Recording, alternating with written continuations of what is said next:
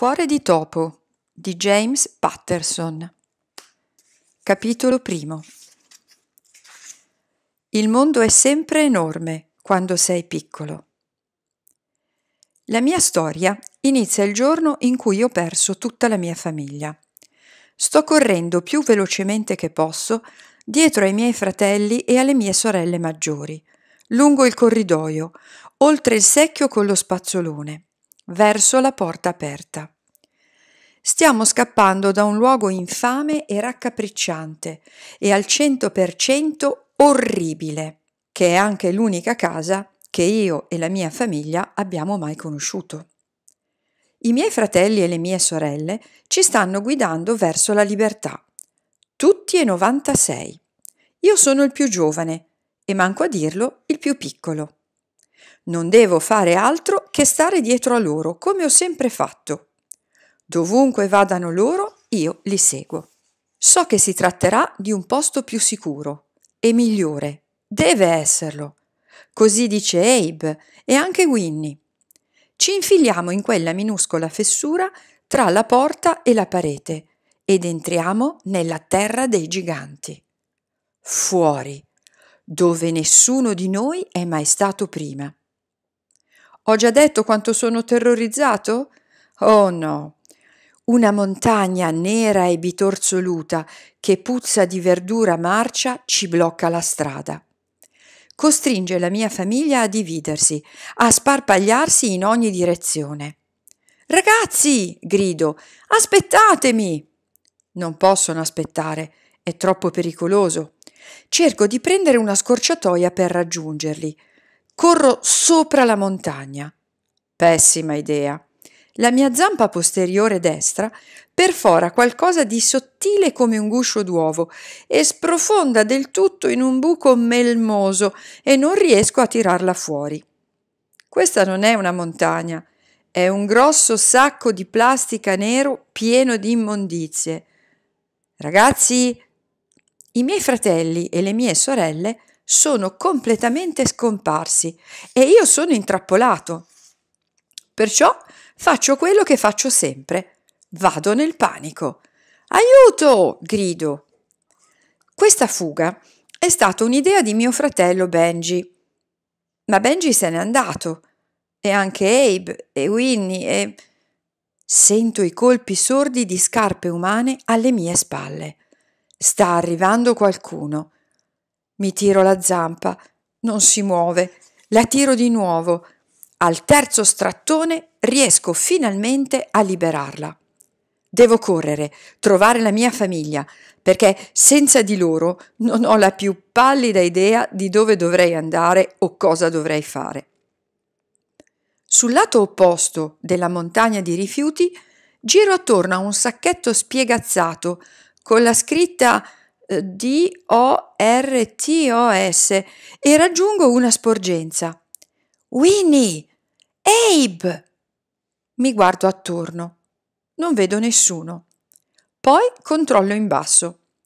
C'è un precipizio di quasi un metro fino a una grata d'acciaio che copre un tunnel buio.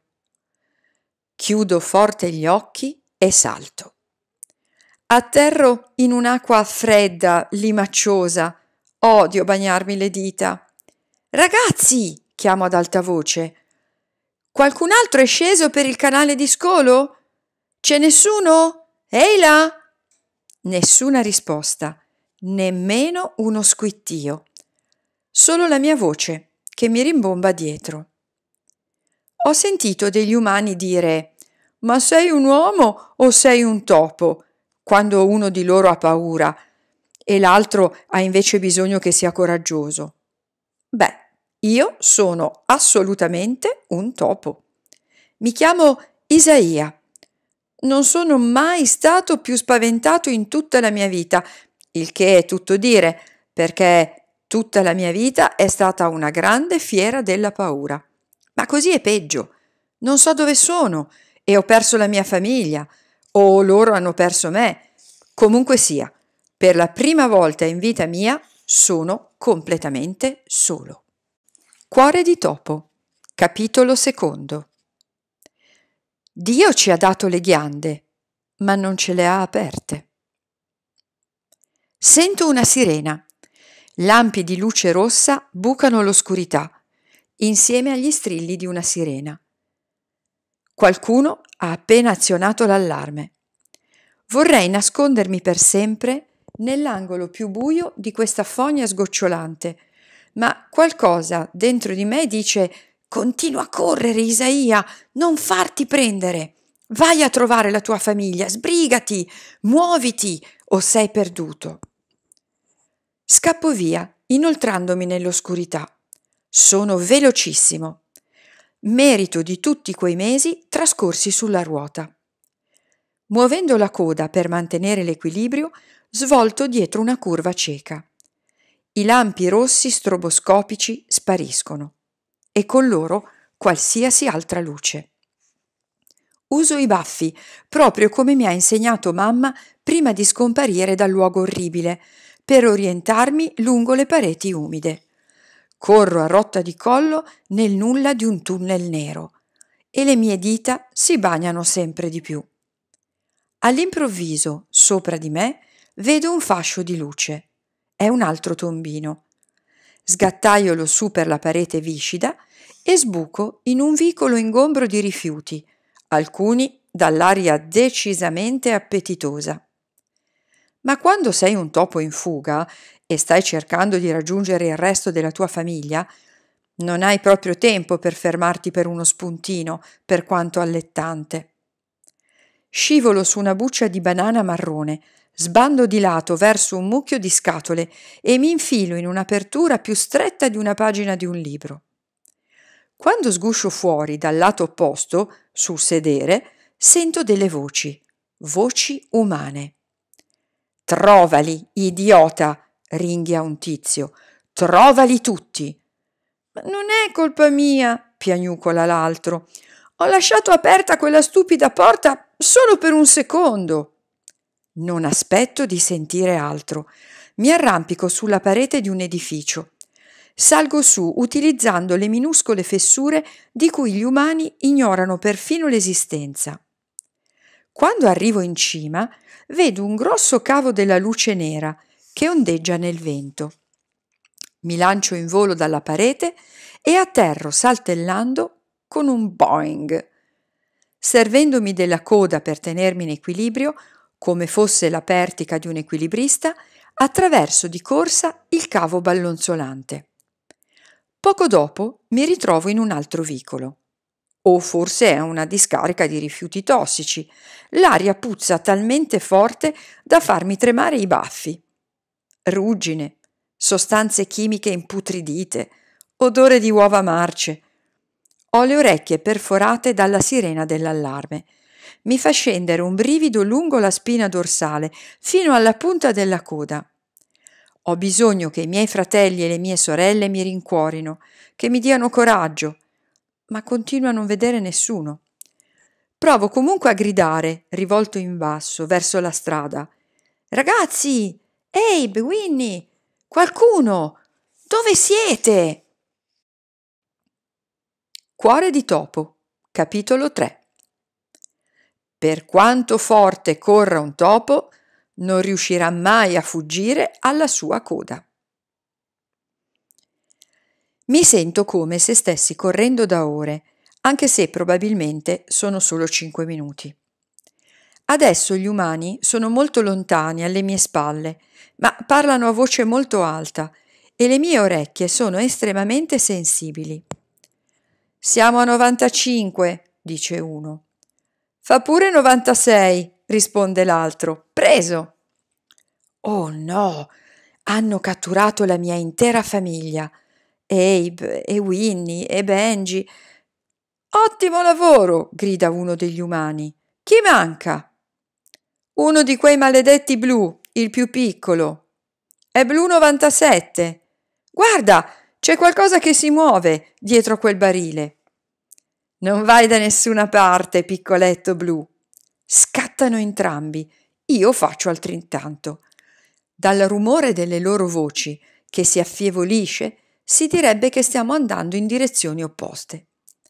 Siete mai stati separati dalla vostra famiglia in qualche strano posto? Che cosa avete fatto? Vi siete seduti scoppiando a piangere a dirotto? È quello che pensavo di fare anch'io. Ma la cosa terribile è che io so perfettamente dove sono, in un posto in cui non posso assolutamente tornare. So che gli altri cercheranno di scappare di nuovo. Mio fratello maggiore Benji non è un tipo che si dà per vinto, non si arrenderà mai e scogiterà un nuovo piano, presto. Ma fino ad allora cosa faccio? Vivo fuori completamente da solo? Prima d'ora non ho mai dovuto cercarmi da mangiare o un posto dove dormire. Da dove comincio? All'improvviso le nuvole si aprono. Il sole di mezzogiorno mi scalda il pelo e mi asciuga le zampe. Decido di continuare a muovermi. Devo trovare un posto in cui nascondermi fino a quando Benji e il resto della mia famiglia cercheranno di nuovo di fuggire dal luogo orribile. Quando lo faranno, mi troveranno ad aspettarli. Ora, io so cosa starete pensando. Aspetta un attimo, Isaia, tu sei un topo. Si suppone che i topi siano creature notturne, praticamente cieche. Tutto quel sole di mezzogiorno deve farti un male tremendo agli occhi. Beh, tanto per cominciare, se non vi dispiace, noi topi siamo notturni e crepuscolari. Il che naturalmente significa che siamo attivi di notte, ma anche dopo il tramonto e all'alba. Come faccio a conoscere la parola crepuscolare?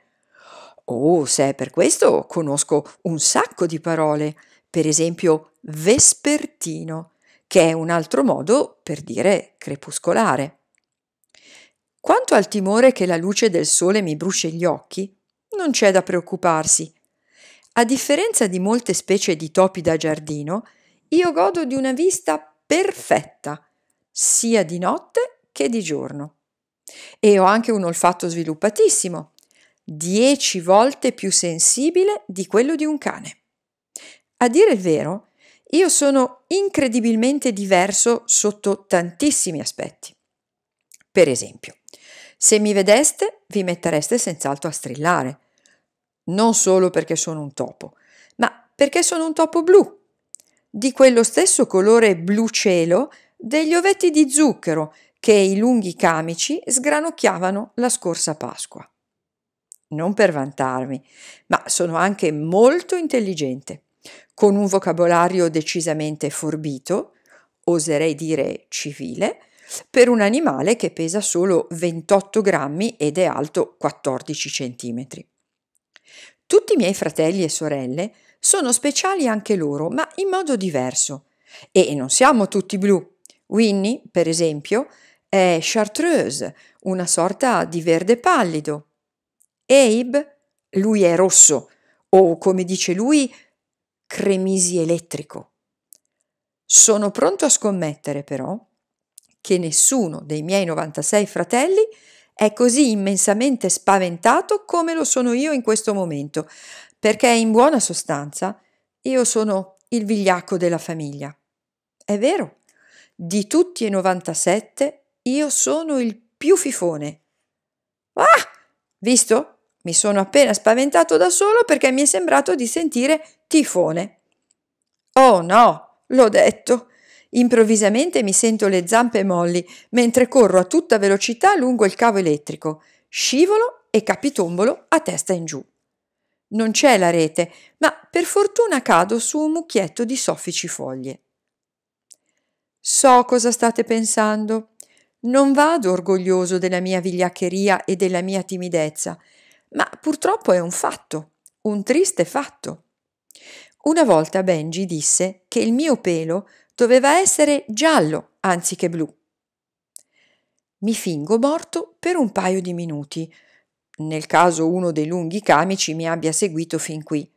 O, peggio ancora, ci fosse un uccello in cerca di preda a girare in tondo sopra di me. Quando sento solo il fruscio del vento tra l'erba alta e il martellare del mio stesso cuore, alzo lentamente la testa e scruto l'orizzonte, sperando contro ogni logica. Cerco un muso familiare, un paio di baffi amici. Abe, piagnucolo. Winnie, Benji.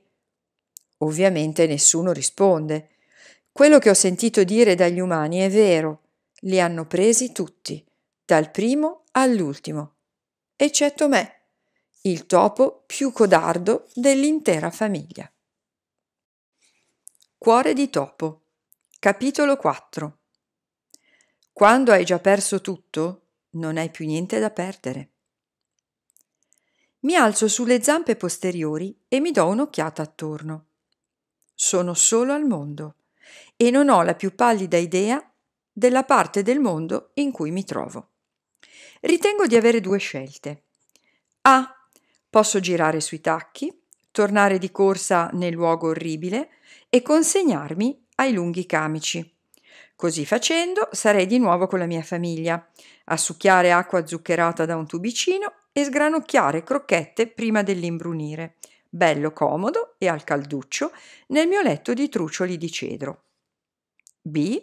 Posso continuare a correre, trovare un posto in cui nascondermi, aspettare che la mia famiglia evada e mi trovi. Scelgo la B. Poco prima di scappare fuori dalla porta sul retro, i miei trucioli di cedro si erano un po' infradiciati. Non ditelo a nessuno, ma l'idea di scappare dal luogo orribile era un pensiero così terrificante che avevo bagnato il letto.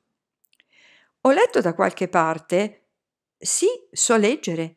Come pensate che abbia imparato tutte quelle parole difficili? Che l'unica cosa di cui dobbiamo avere paura è la paura stessa. Ok, questo l'ha scritto senz'altro un umano. Noi topi siamo così piccoli che abbiamo un sacco di cose di cui avere paura. Uccelli, gatti e addetti agli spazzoloni maldestri che indossano pesanti stivali da lavoro. Non sarò coraggioso, ma sono senz'altro curioso. Per esempio, mi sto chiedendo cosa ci sarà dietro quella fila di alberi sul lato opposto del campo in cui sono appena atterrato.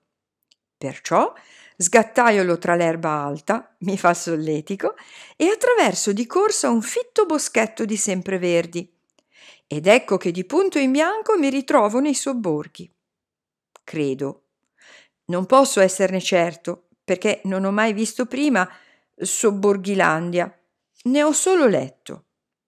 È questa l'unica cosa buona che posso dire sul luogo orribile. C'erano i libri montagne e montagne di libri, un'intera biblioteca piena. E facevano degli esami, montagne e montagne di esami. Ma a volte, quando i lunghi camici non guardavano, io leggevo per divertimento. Mi piacevano i racconti d'avventura. In realtà ho sempre voluto partire per una grande avventura. Ora so che si tratta solo di un altro modo per dire che ti sei perso e sei rimasto da solo. Resta comunque quella fastidiosa curiosità.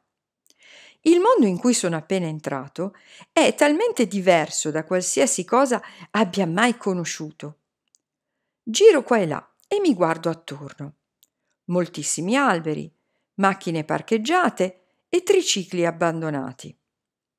Mi mantengo molto vicino ai marciapiedi e ai canali di scolo, nel caso debba ricorrere a un'altra uscita di emergenza via Tombino. Dietro ad alcune grandi finestre delle gigantesche case degli umani vedo dei gatti. So che loro sanno che io sono qui. I gatti sono intelligenti, specialmente quando sono affamati. A proposito, dopo tutto quel correre e saltare e tremare di paura, L'acqua zuccherata che ho trangugiato a colazione, le crocchette non riuscivo nemmeno a guardarle da quanto ero nervoso, è completamente evaporata. Inizio a curiosare in cerca di cibo. E non sono certo troppo schizzinoso. Sapevate che la parola mouse, topo, deriva presumibilmente dal sanscrito mus, che significa ladro? Ora, non è che io di solito mi consideri un ladro, non ho mai preso nulla che non mi sia stato liberamente offerto, non ne ho mai avuto bisogno. Ma mentre zampetto per Sobborghilandia, straniero in una terra estranea, mi rendo conto che potrei non avere molta scelta. Non arriverà nessun lungo camice a versarmi la cucchiaiata giornaliera di croquette. Fortunatamente, parecchie di queste case di umani hanno dei grossi cassonetti a ruote parcheggiati sull'erba sopra il marciapiede e sono tutti molto profumati. Annuso l'aria alla base di una di queste imponenti torri di plastica. Non posso credere alla mia fortuna.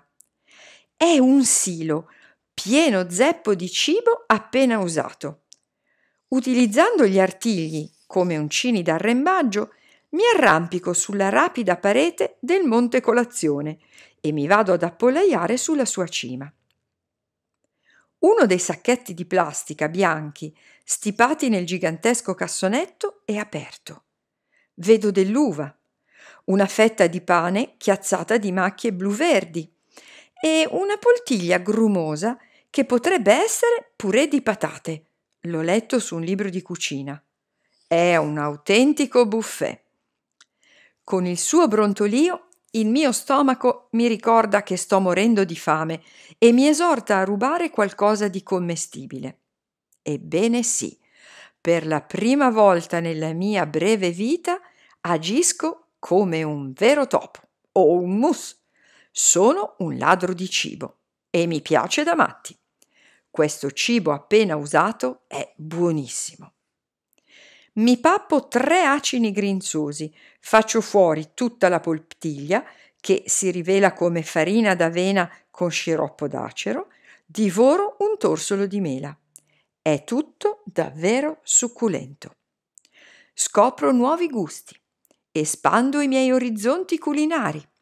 Come ho detto, sono stato allevato a crocchette e nient'altro, roba secca e disgustosa che sa di cartone, come faccio a sapere di cosa sa il cartone? Mi è capitato di azzannare per sbaglio l'angolo di una scatola di cereali e ho riconosciuto il sapore immediatamente. Crocchette. Sono proprio felice di non avere fatto dietro front ed essere tornato nel luogo orribile. Questo nuovo mondo è di gran lunga più appetitoso. Mi sdraio sul mio soffice letto di pane per assaporare un altro acino grinzoso, quando sento qualcosa che sposta la mia torre di cibo. Qualcosa di grosso. Mi sporgo oltre il bordo. Ah, è un ratto! Cuore di topo. Capitolo 5. Tutti riceviamo dei doni. Come li usiamo dipende da noi. La mia splendida fortezza di cibo è attaccata da ratti, giganteschi, dai denti sporgenti, viscidi, scorbutici ratti. È vero, ratti e topi sono parenti, siamo entrambi membri della famiglia dei roditori. Ma i ratti sono i cugini avidi, violenti e spregevoli. Non è per denigrare la mia famiglia allargata, ma andiamo, diciamoci la verità. I ratti sono orribili. Sento un duplice colpo giù in basso. Metto insieme il coraggio sufficiente a dare un'altra occhiata oltre il bordo del mio barile di cibo. Quello che vedo non mi piace. Una banda di enormi ratti si sta riversando fuori dal canale di scolo più vicino. È ovvio che i ratti hanno sentito l'odore del silo del cibo usato da poco, esattamente come ho fatto io. Adesso vogliono ribaltare il mio cassonetto del cibo e papparsi tutta la roba che si rovescerà fuori, per poi usare me come dessert. Per fortuna, il barile in cui ho deciso di tuffarmi è dotato di ruote. Quando i ratti lo spingono alla base non si rovescia, scorre semplicemente di lato sull'erba. Frustrati, i ratti brontolano e vanno a sbattere ancora più forte contro la base del cassonetto, utilizzando le loro teste come arieti. Il che va benissimo, non è che usino la testa per molti altri scopi. Vedete, i miei cugini ratti saranno anche grossi e brutti, ma sono anche degli stupidi. D'accordo, loro non hanno avuto le opportunità educative che ho avuto io. Nessuno di loro ha dimestichezza con le teorie sull'equilibrio o sullo spostamento del peso.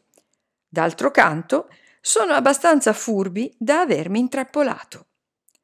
Non ho certo intenzione di saltare giù per diventare una merendina per ratti.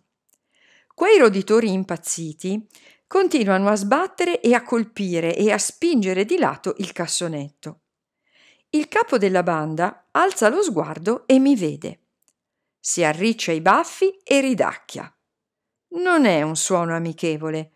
È un po' come se schioccasse le labbra pregustando la mousse di topo in arrivo. Quindi decido di mettere in mostra un altro dei miei singolari e insoliti talenti.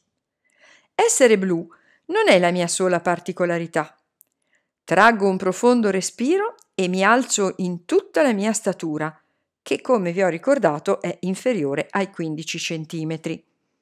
In confronto a me i ratti sono dei giganti, grossi come stivali da lavoro. Non importa. Come ho detto, io sono in grado di fare qualcosa di incredibile. Crocchette! grido. Proprio così sono in grado di emettere suoni che vanno oltre i classici squittii e pigolii da topo. Ho una voce. Posso pronunciare alcune parole degli umani, specialmente quelle che ho sentito ripetere molte volte. Crocchette! grido. Gli occhietti luccicanti del capo dei ratti mi guardano con una nuova espressione. Riconosco quello sguardo. È paura. Crocchette! Questa volta agito le zampe come fossi una specie di topo fantasma, completamente fuori di sé. Il caporatto strilla e con uno schiocco della grossa coda torna di corsa dentro alla sua fogna. Il resto dei suoi compari si affretta a corrergli appresso. In un lampo sono spariti e il cuore sembra volermi esplodere nel petto. Era la prima volta in vita mia in cui ho dovuto salvarmi la vita. Avrò pure spaventato i ratti, ma sono ancora piuttosto spaventato anch'io. Diciamocela tutta, sono impietrito. Capita quando vieni aggredito dai ratti. Voglio la mia famiglia. A proposito, lo sapevate che mia madre come quasi tutte le madri di topi, ci ha parterito tutti e 97 in meno di un anno? Vi chiederete come mai tanti figli. Beh, i lunghi camici dicono che un topo comune vive un anno, forse due. Immagino che ci sia bisogno di un sacco di neonati, altrimenti la nostra intera specie potrebbe fare la fine dei dinosauri e sparire dalla faccia della Terra ma ho anche sentito dire da uno dei lunghi camici che tutti i topi del luogo orribile sono diversi dal topo comune, sotto qualsiasi aspetto immaginabile. Uno ha perfino detto che la mia vita potrebbe durare quanto quella di un essere umano. E quindi quanto? Gli umani, che non devono preoccuparsi degli uccelli o dei gatti o di venire calpestati, o mangiati dai propri stupidi cugini ratti, possono vivere molto, molto più a lungo dei topi. Non sarebbe fantastico? Pensate a quante feste di compleanno potrei avere. Cuore di topo, capitolo 6. State attenti. Quella luce alla fine del tunnel potrebbe essere un treno che sta venendo verso di voi.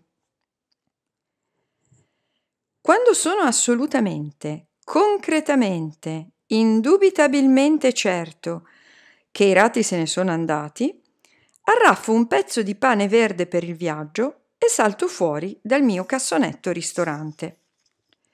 Devo continuare a muovermi.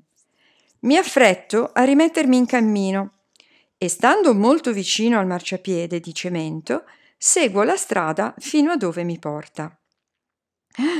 Non volevo che mi portasse a questo, perché questo è peggio di tutti quei roditori squilibrati che andavano a sbattere sul mio cassonetto. Questo è un gatto. Si muove furtivo, lento, impassibile. Cerca l'angolo di attacco migliore. Oscilla le spalle con disinvoltura, girandomi attorno come farebbe un leone, che, detto per inciso, è solo un enorme gattone senza la lettiera. Tutti i gatti sono eccellenti cacciatori, è il loro super talento. Paralizzato dalla paura, ho il tempo di studiare questo specifico esemplare. È uno Sphinx nero. Sapevate che gli Sphinx non hanno pelo? Sono anche molto muscolosi, con un collo possente e cuscinetti sotto le zampe così spessi da far sembrare che camminino sospesi da terra. Sì, so molte cose sui gatti, so anche di trovarmi in pericolo di vita. Perciò provo di nuovo il mio trucco. Forse oggi mi salverà la vita due volte. Crocchette! Il gatto drizza la sua testa a cuneo. I suoi occhi maligni, di un giallo acido, appaiono confusi. Colgo l'attimo e schizzo lungo il vialetto. Sfortunatamente, quel mostro grinzoso e senza peli mi insegue. Mi tuffo verso il cespuglio sotto il portico. Il gatto ci si tuffa alle mie spalle.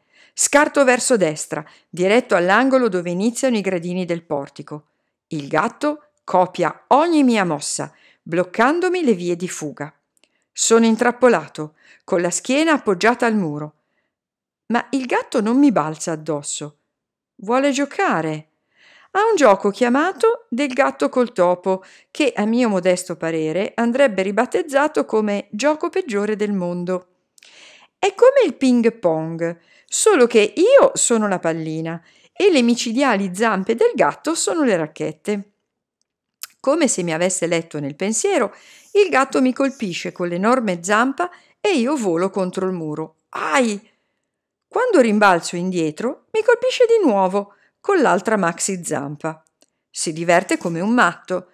Lo sento perfino ridacchiare, un odioso e sibilante Poi mi risbatte un'altra volta contro il muro. Vedo letteralmente le stelle. Il gatto striscia più vicino, così vicino che riesco a leggergli la targhetta. Davvero adorabile. Si chiama Lucifero. Cuore di topo, capitolo 7. Devi avere qualcosa per cui alzarti e lottare, altrimenti passerai tutta la vita con le chiappe per terra. Dunque eccomi qua, stretto all'angolo e con il diabolico gatto pronto al prossimo giro di picchia al topo. Decido che ne ho abbastanza. Sono arrivato al limite, signore e signori. Sono stufo di essere aggredito per quello che sono. Non diventerò il peluche di questo gatto. Sono un topo che, come ricorderete, deriva dalla parola sanscrita mus, cioè ladro, perciò è venuto il momento di rubare a questo demonio dalla pelle a prugna secca il suo perverso divertimento. La targhetta di Lucifero tintinna, mentre altra la zampa destra per colpirmi di nuovo. Io mi raggomitolo completamente, trasformandomi in una palla durissima. Lucifero si inarca e mi colpisce. Un'autentica bastonata. Picchio violentemente contro il muro e rimbalzo come fossi una super palla di gomma compressa. Volo dritto addosso al gatto, lo colpisco in pieno sulla pancia. Il suo miau diventa un miau. Cado a terra, mi rannicchio e rotolo. E mentre Lucifero si tiene la pancia con le zampe anteriori, affondo i miei piccoli ma affilatissimi denti in una delle sue zampe posteriori Miro ha un fragile tendine nella parte posteriore della zampa, un tendine facile da vedere perché il nostro pelatino è privo di pelo. Lucifero strilla come se un ippopotamo gli avesse appena pestato la coda. Io prendo il volo.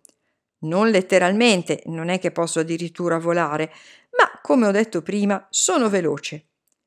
Se vi capita l'occasione, Provate a inseguire del formaggio su una ruota d'allenamento. ti fa correre in fretta, soprattutto quando sei furioso. Lucifero non ha più tanta voglia di inseguirmi. Lancio un'occhiata dietro di me e vedo che si sta leccando le ferite, letteralmente. Uso i baffi e la coda per tracciare un percorso nel sottobosco dell'aiuola. Corro lungo il fianco della casa di mattoni e me la svigno nel giardino sul retro. Lucifero mi sta ancora inseguendo?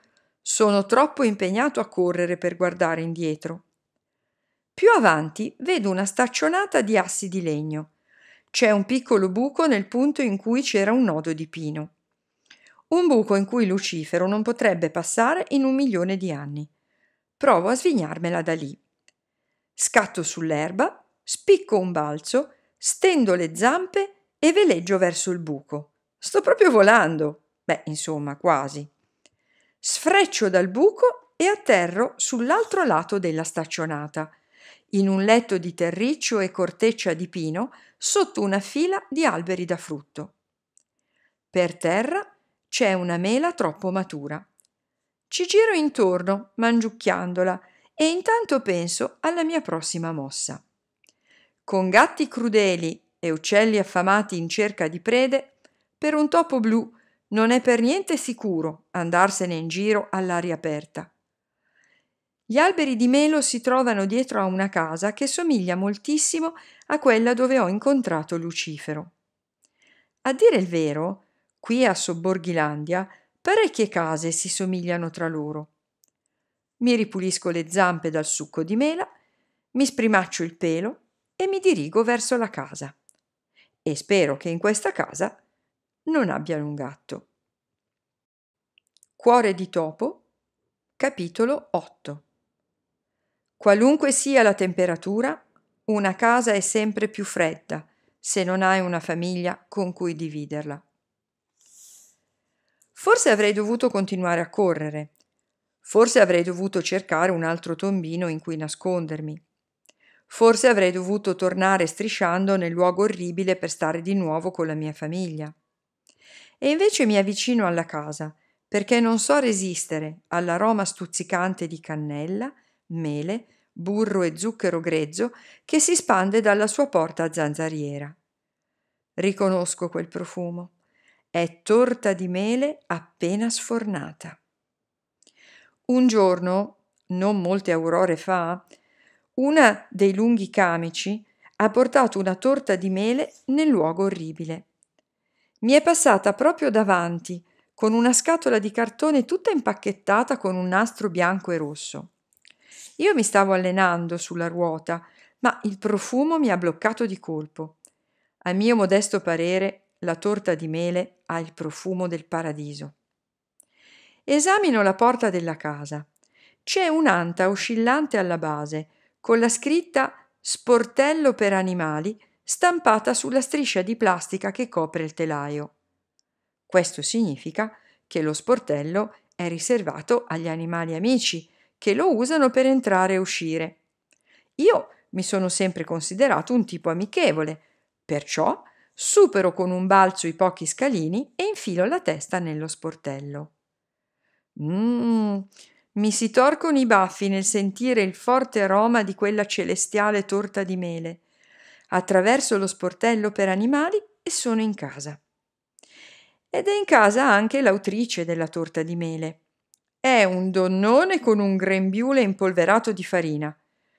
Ha le mani sui fianchi e mi sta guardando con aria torva. Ha anche un mattarello. Esci dalla mia cucina, sudicio roditore! grida. Mi scaraventa addosso il mattarello. Lo prendo come un invito a svignarmela. Mi rituffo dallo sportello e scappo via. E statene fuori di qui, parassita! Le sue parole mi rimbombano nelle orecchie e mi feriscono. Parassita non è un termine molto carino con cui rivolgersi a una qualsiasi creatura. Significa che sei un essere nocivo, un insetto da calpestare, una mosca da schiacciare, un topo da intrappolare con la colla topicida. Proprio così. Io non solo capisco le parole, ma comprendo anche il loro significato e a volte vorrei non essere così dotato e talentuoso. Detto tra noi, non è che mi piaccia molto sapere che al mondo esistono persone che mi odiano senza nemmeno conoscermi. Perciò continuo a correre. Ma ben presto rallento. Ok, diciamo che adesso cammino. Non è che tutto quel correre dietro al formaggio sulla ruota ti possa dare la tenuta necessaria a correre per otto ore di fila. Le strade sono buie, eccetto le pozze di luce sotto un paio di lampioni solitari. Passa altro tempo. Le stelle brillano nel cielo come ghiaccioli sbriciolati. Mi accorgo che sto tremando. Per una volta non si tratta di paura. No, sto battendo i denti dal freddo. Di solito i topi si tengono caldi stringendosi assieme nella tana e condividendo il calore corporeo.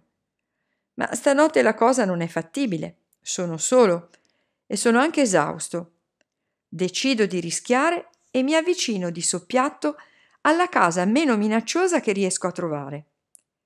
La base è fatta di blocchi di calcestruzzo che presentano degli spazi vuoti, una sorta di comode tane di cemento. In uno dei blocchi noto un'apertura piena di foglie secche e aghi di pino. Trovo del muschio verde e vellutato che cresce su una roccia. Lo gratto via e lo arrotolo dentro a una foglia grassa che stacco da un cespuglio. Mi farà da cuscino. Quando il mio rifugio per la notte è sufficientemente comodo, ci scivolo dentro e mi raggomitolo. Mi sento decisamente meglio e anche decisamente solo. È la prima volta che passo una notte lontano dalla mia famiglia. Per quanto orribile fosse il luogo orribile, almeno eravamo tutti insieme. Mi mancano i miei fratelli e sorelle. Abe, Benji, Clement, Delila, Eli, Felicity, Felix. Nella mia testa recito tutti i loro nomi. Quando arrivo a Zuzu ricomincio da capo. Al terzo passaggio mi addormento, terrorizzato dai sogni che potrei fare. Il giorno più pazzo della mia vita si è trasformato nella notte più triste della mia vita e non mi aspetto che domani sia molto meglio.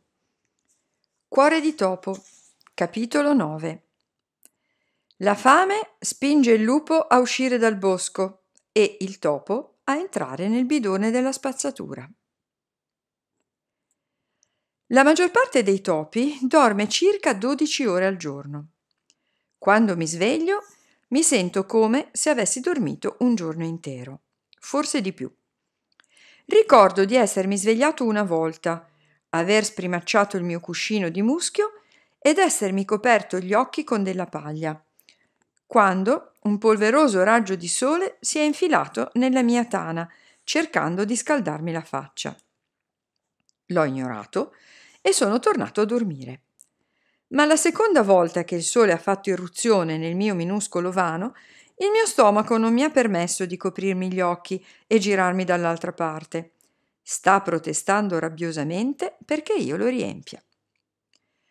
Alzati, Isaia, mi dico, stamattina non arriverà nessuno a darti la tua razione di crocchette. Se vuoi mangiare, devi uscire là fuori e cercarti del cibo. Striscio fuori dalla mia tana nel muro. Il mio piano è tornare sui marciapiedi di Sobborghilandia e trovare un'altra torre di cibo con le ruote. Attraverso di corsa il prato davanti alla casa, dirigendomi verso un altro cassonetto di cibo usato, convenientemente parcheggiato vicino al cordolo. All'improvviso un frastuono tremendo. L'aria esplode, un mostro di grigna i denti, Tutta la terra trema. Un grosso e rombante camion bianco sta risalendo la strada con un umano appeso sul retro. Mi nascondo dietro a una decorazione da giardino in ceramica. Sbirciando da dietro l'asinello di gesso che traina un carretto pieno di vasi di petunie, vedo un umano corpulento con una scintillante pettorina arancione che raccoglie la mia colazione e la scarica nelle fauci spalancate dietro al gigantesco camion bianco. È orribile! Sono stato rapinato. Mi stanno rubando il cibo che stavo per rubare io e non posso farci nulla. Quando hanno finito di alimentare il retro del camion con la mia colazione, gli umani rovesciano il cassonetto di lato sulla striscia d'erba, tra il marciapiede e il cordolo. Poi proseguono rombando lungo la strada per saccheggiare il prossimo cassonetto. Guardo la strada dalla parte in cui sono già passati. Tutti i cassonetti sono sdraiati sul fianco. So che sono vuoti. La mia deliziosa colazione è stata ingurgitata dal gigantesco camion bianco che, a quanto pare, è ancora più affamato di me. Gli umani lo stanno nutrendo con ogni singolo cassonetto dell'isolato. È questo che significa essere un topo vero e proprio? La mia vita fuori dal luogo orribile è destinata a non essere altro che un'interminabile ricerca di cibo e rifugio. Quando gli umani e il loro camion affamato sono a due isolati di distanza, mi infilo nel cassonetto vuoto. Sento un odore disgustoso. Vedo una pozza formata da una spessa brodaglia umida rimasta intrappolata in una delle rientranze ondulate vicino al fondo del cassonetto. Quella sbobba puzza di vecchio, di rancido, di marcio, ma è cibo. Mi stringo il naso e la lecco tutta. Ebbene sì, essere un topo, e anche un topo di un bel pelo blu, non è così bello. E nemmeno il cibo. Cuore di topo, capitolo 10. Speranza significa credere nel lavoro quando sarebbe più facile arrendersi. Sto ingoiando un pezzo di carne misteriosa, o forse un pezzo di patata poco cotta. È coperta di tanto di quel sugo marcio e unto che è difficile stabilirlo. Il mio stomaco vacilla. L'odore aspro sta per farmi rimettere. Mi sento come un gatto che stia vomitando un bolo di pelo mentre sputo fuori quel grumo farinoso. Coraggio, Isaia, mi dico, i poveracci non hanno scelta. E invece sì, dice una vocina dentro di me che non intende mandar giù un altro boccone di quella schifezza. Che ne dici di cercare del cibo alla buona vecchia maniera, tipo raccogliere noci e bacche? E dove le andiamo a trovare le noci e le bacche? mi chiedo. Potremmo provare a parlare con gli scoiattoli, suggerisce la vocina. Somigliano abbastanza dei topi e sembrano più amichevoli dei ratti. All'improvviso sento qualcosa che interrompe il mio dibattito interiore. Il mio cassonetto del cibo sta cogliendo un suono lontano, una canzone, e lo amplifica finché non mi circonda. All'improvviso questo bidone della spazzatura è diventato una sala concerti. La voce della cantante è splendida, assolutamente incredibile. Un soprano angelico che canta una dolce melodia, molto simile alla ninna nanna che mia madre canticchiava sottovoce quando ero appena nato. È la canzone di un topo. Oh sì, è vero, i topi sanno cantare. Siamo tra i pochissimi mammiferi intonati. Balene, pipistrelli, umani e topi. Tanto è vero che per cantarci serenate a vicenda usiamo la stessa porzione di cervello che usano gli umani. Ai topi viene anche la pelle d'oca, come quella che ho adesso mentre ascolto questa dolce melodia. Con tutto quello che abbiamo in comune, uno pensa che la gente dovrebbe trattarci meglio. Ma adesso non voglio soffermarmi su questo argomento, non ci voglio nemmeno pensare. Voglio solo restarmene qui un momento ad ascoltare questa splendida canzone d'amore, perché è di questo che si tratta. Di solito sono i topolini a intonare ballate d'amore per le topoline, ma questa canzone è cantata da una topolina. Riconosco la voce.